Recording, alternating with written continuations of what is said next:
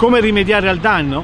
In questo caso bisogna rifare completamente il cotico. Qui non siamo a livello di fare un patchwork e riparazione del prato con integrazioni di terriccio e semente. Qui bisogna rifare ex novo per metri quadri e metri quadri queste spiaggette di questo giardino storico.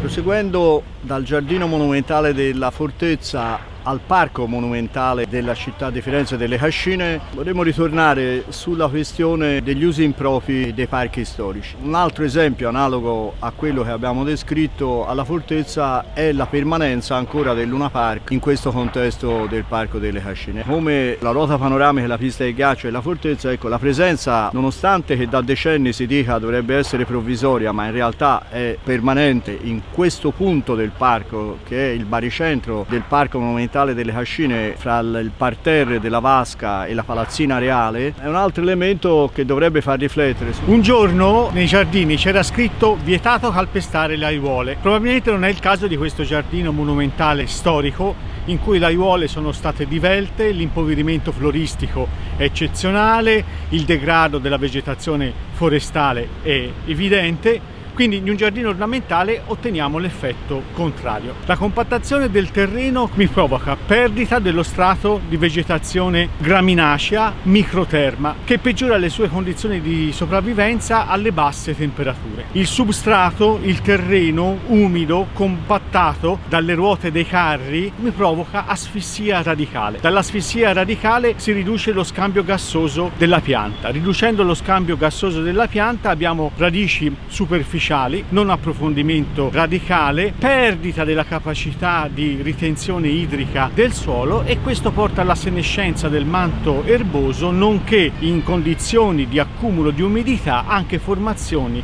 di patogeni soprattutto fungini.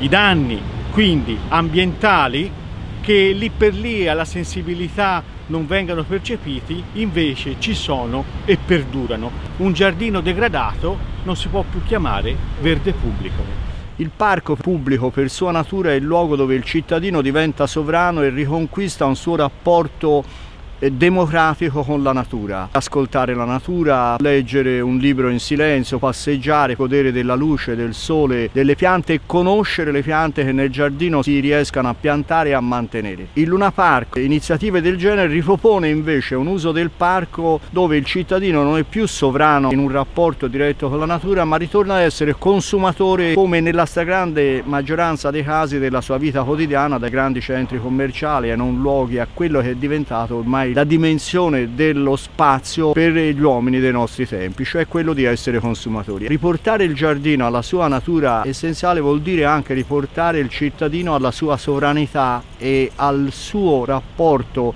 democratico con una fetta di territorio che è di tutti, che è della collettività. Allora si capisce perché la gente non viene più nei giardini per ammirare il verde e avere un contatto primigenio con la natura, ha bisogno di altri surrogati, come una ruota panoramica, un Luna Park, ma questo si può trovare ovunque e mettere ovunque.